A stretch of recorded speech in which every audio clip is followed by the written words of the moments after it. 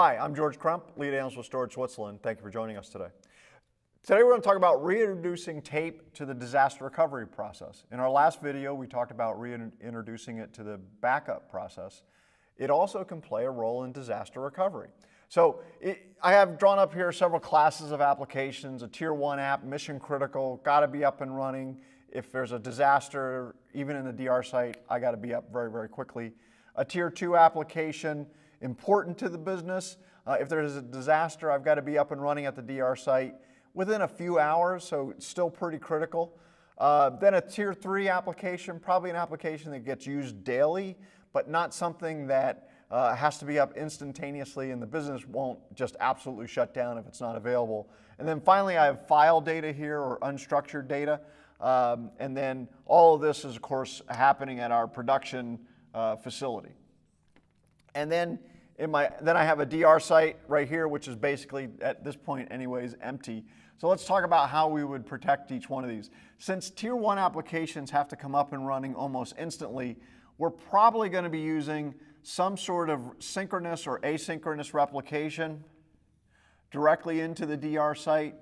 More than likely, there's, applic there's application servers uh, sitting there running, ready to go. Uh, and so this is a uh, replication job.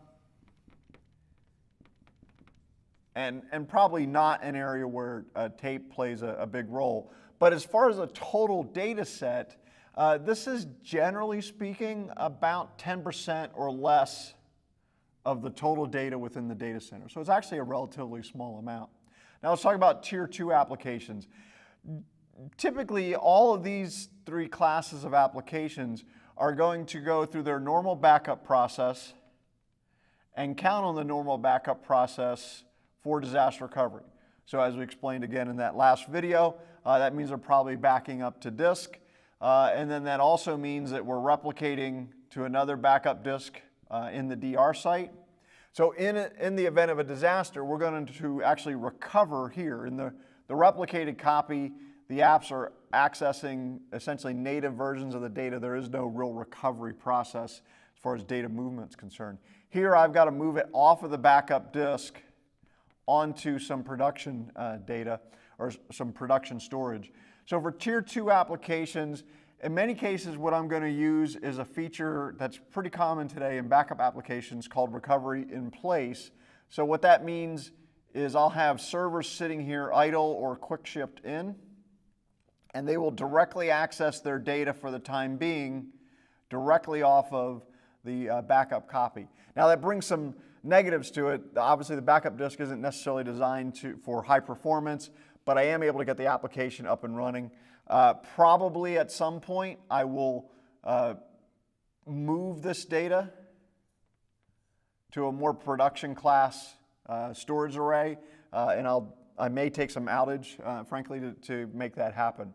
Uh, so that's the tier one applications, or I'm sorry, tier two applications taken care of right there. Now, tier three applications, I'm probably not going to go through all of this process to recover. I will probably uh, have some more servers shipped in and another array, and then directly recover those uh, to that array off of the backup disk. And then the backup, uh, the uh, standby servers will start accessing data directly. So that way I don't need to worry about the fail, failover and moving data around. It's just a one-time deal. So in, in many cases, my goal here is to have about a typically like a four hour uh, RPO, RTO with this data, and typically uh, a four to eight hour RPO, RTO uh, with the uh, tier three applications. Now, in file data, clearly there's a, a chunk of file data that probably has to come back pretty quickly. Uh, and that'll probably happen as part of this tier two recovery. But there's a, a vast amount of data, uh, probably 90% of it, that does not need to be recovered right away. Also, if you look at the time frame on this tier three application set of four to eight hours, that's something that tape could easily meet. So if we look at that, what we could do is either, again, in our last video, we showed data spooling off to tape. Those tapes could be shipped to the DR site. So in this scenario, I could actually start my tier three and my unstructured data recovery all from tape. So tier three and files could all come from tape. Now the advantage of doing that is I've just reduced the cost of my uh, backup disk at my DR site substantially. Uh, so probably I need about 20% uh, of the total disk backup capacity that I would have if I was going to try to stage everything from, from disk. And so what we're suggesting here is obviously for tier one mission critical applications, continue to use replication. For your tier two applications, continue to send those to backup disk.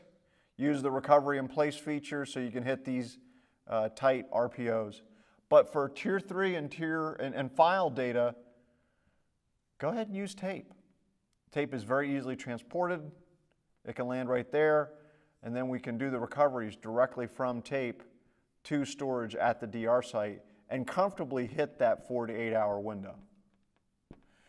The, the result of doing this is, is several. Number one, we reduce the cost of backup storage both in the primary location and in the secondary location. We reduce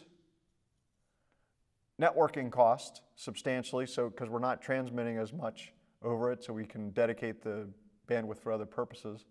And then we make that data diversity or genetic diversity in media more practical because all, everything goes to tape, so I've got a copy on disk and tape.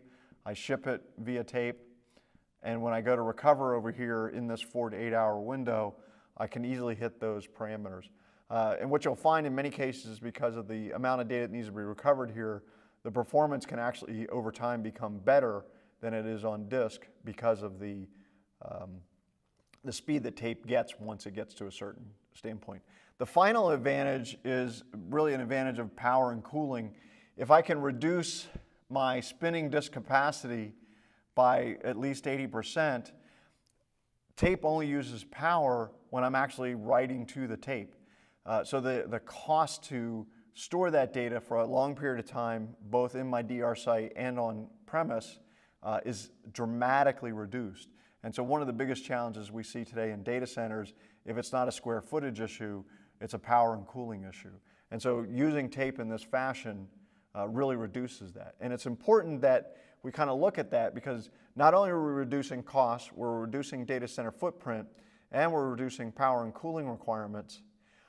We're not sacrificing any recovery effort. We're still going to hit our you know, really fast sub one hour recovery times here. We're still going to hit our pretty fast four hour or less recovery times for our tier two applications. And we're comfortably going to hit our four to eight hour recovery times with tape. So again, we, we suggest using a blended strategy of tape and disk in both backup and also in disaster recovery. Thanks for joining me. I'm George Crump, lead analyst with Storage Switzerland.